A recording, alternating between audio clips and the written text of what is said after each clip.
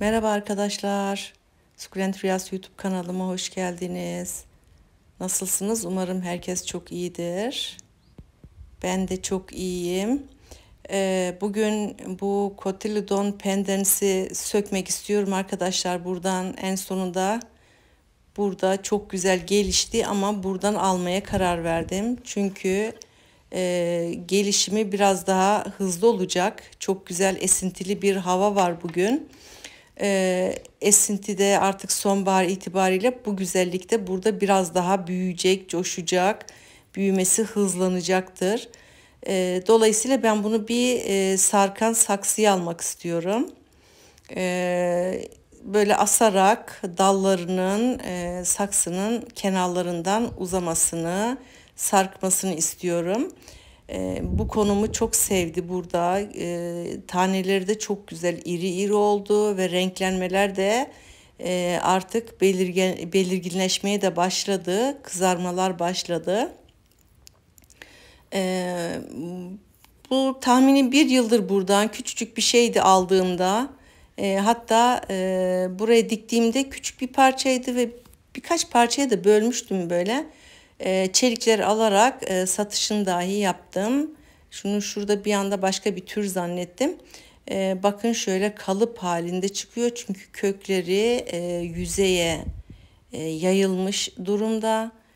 E, şöyle kalıp halinde alması da benim için çok kolay oldu. Bakın şu güzelliğe, şu e, tatlılığa. Allah'ım ne kadar güzel, tatlı tatlı, renkli renkli olacak. Taneleri nefis nefis. Şöyle kenarları cılız cılızken alıp e, çelikler köklendirmiştim ve onları e, sağa sola hep diktim ben. Sağdan soldan böyle arada çıkıyorlar. Aynen şu gibi mesela bakın ben buraya küçük bir dal dikmişim. Çelik olarak köklenmiş. E, bu şekilde e, birkaç tane satışın dahi yaptım. Satmasam belki daha e, dolu dolu olurdu. E, ama şükür yine güzel gelişti. Kaybım olmadı bununla ilgili. Böyle konumunu, doğru konumu bulana kadar böyle iri taneli nerede daha güzel olur diye birkaç yer denemedim değil. E, sabah güneşine de koydum. Orada da evet oldu ama e, bütün sukulentlerimde olduğu gibi bu öğlen sonu güneşini burada sukulentlerim daha çok sevdiler. Demek ki e, bir de e, böyle evin duvarına da dayalı olmadığı için e, etrafı komple açık olduğu için e, 360 derece hava sirkülasyonu oluyor burada. E, garajın kenarı burası. E, dolayısıyla e, hava e, akımından dolayı da çok güzel bütün sukulentlerim de olduğu gibi gelişti. Bakın bu da mini minnacık dibinden köklenmiş. Çok fazla e, toprağa temas edemeyince susuz da kalmış garibim. Arada sıkışmış kalmış. Bakın köklere çok güzel kök yapmış maşallah. E, böyle büyük yayvan bir saksıya dikeceğim inşallah. Ve e, kışında korumaya aldığımda seranın e, ortasından yukarıdan böyle e, asabilmek niyetim öyle e, asarak orada gelişimi e, takip edeceğim. İnşallah orada da güzel olur. Bakar mısınız nasıl dolu dolu yaprak araları falan çok güzel yani güneşini çok güzel almış demek oluyor bu. Burası bir açıldı. Burayı e, sonra dolduracağım ve başka bitkiler transfer edeceğim böyle renklerine buradaki saksıya uyumlu olarak şöyle minik yapraklar çıkıyor aralardan. Köklenmişler bebek vermişler uçları. Toprağım çok güzelmiş yalnız gerçekten. Hala yumuşacık böyle helva gibi yumuşak bir toprağım varmış. Şimdi ee, bu saksıyı e, düşünüyorum arkadaşlar ama sanırım bu saksı bile yetersiz gelecek ve bunun kenarları da çok sağlıklı değil. Ee, şöyle bakın. Bunun e, yani çapını çok beğenmedim. Çok sağlıklı değil plastiği. E, asmaya kalksam e, kenarları iyice kırılacak. Böyle büyük bir yoğurt kovam vardı. Ben bunu boyamıştım önceden. Şu şekilde asmayı planlıyorum. bence e, iyi olacak. Yarıya kadar strofor doldurdum. E, üzerinde bir 4-5 karış kadar toprak. Bunun kenarları hep kırıldı böyle arkadaşlar. E, plastiği çok sağlam değildi ama kullanışlıydı. Ben e, çok e, sürekli bitki değiştirdiğim için e, bunu uygun gördüm şu an bu bitkime. Bakın anca zaten e, bu e, saksıya olacak. Artık saksı diyorum. Bitki dikeceğim için değil mi? Saksı oluyor artık bu. Şöyle ortalarından da hep çelikler aldığım için ortalardan bebekler vermiş hep. Yavrular patlatmış. E, toprağı dalların altına iyice dolduruyorum. E, iyice doldurayım ki bu toprağa değdikçe oralardan falan mesela kök yapıp daha e, sıkı toprağa tutunsun ve her tutunduğu, köklendiği daldan da bir sürü bebekler gelecektir. Bunu da buraya böyle şu şekilde bu da buraya uygun oldu. Bazı bitkileri çok severek alıyoruz ama acaba işte olur mu hangi konuma koysam ki diyene kadar bir iki böyle e, denemeler yapıyorum ben. E, işte birazcık büyüdükten sonra oradan çelikler alıyorum.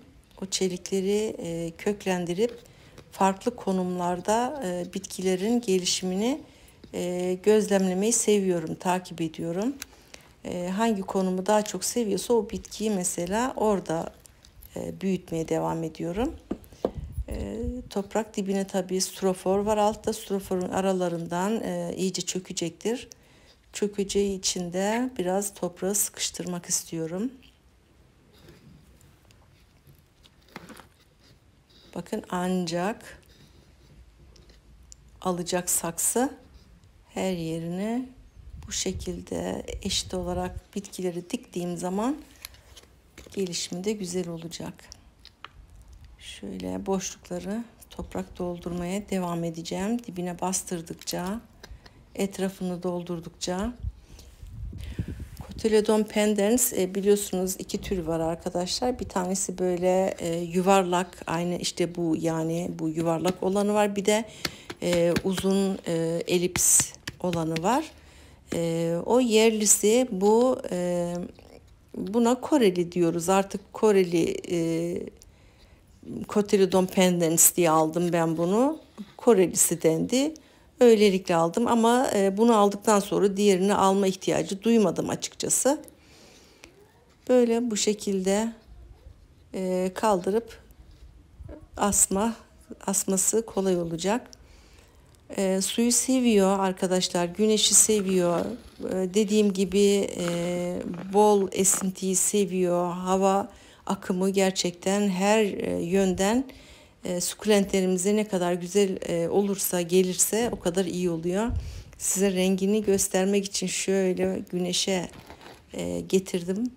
Ama gerçekten tam olarak rengini size yansıtamıyorum harika bir e, rengi var böyle yeşili, pembemsi böyle uçları ve bol pudralı bir tür. E, inşallah önümüzdeki sene çiçeğini de görürüm. Daha henüz çiçeğini görmek nasip olmadı. Daha anaç forma gelmedi muhtemelen.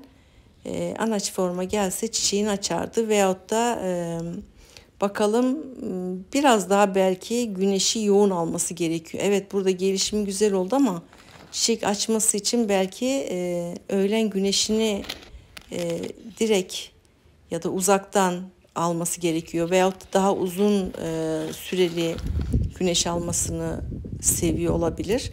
Onu da deneyeceğim. Onun da denemesini yaparız inşallah. Böyle bu şekilde arkadaşlar bir iki gün böyle bu toprakta dursun. Daha sonra suyunu vereceğim. Buradaki boşluğa da e, saksıya uyumlu e, bitkiler transfer ettim. Şöyle bunlardan buraya diki verdim. Çok da güzel oldular. E, Nussbaumerinkler e, çok güzel e, ne diyeyim renk kattılar. Pembeyle sarılar harika oldular. Bunlar da bu şekilde burada kardeş kardeş büyümeye devam etsinler. Bunların üzerine de biraz toprak geldi. Onları da temizlerim. Bakın buradaki rozetlerde günden güne büyüyorlar. Dusty Rose'um kocaman oldu. Yani bu taraf sanki daha bir güzel oldu. Canlı renk oldu gibi. Bakalım artık önümüz iyice e, kışa doğru gidince renkler falan nasıl olacak hep beraber göreceğiz. Herkese teşekkür ediyorum izlediğiniz için. Hoşçakalın. Allah'a emanet olun.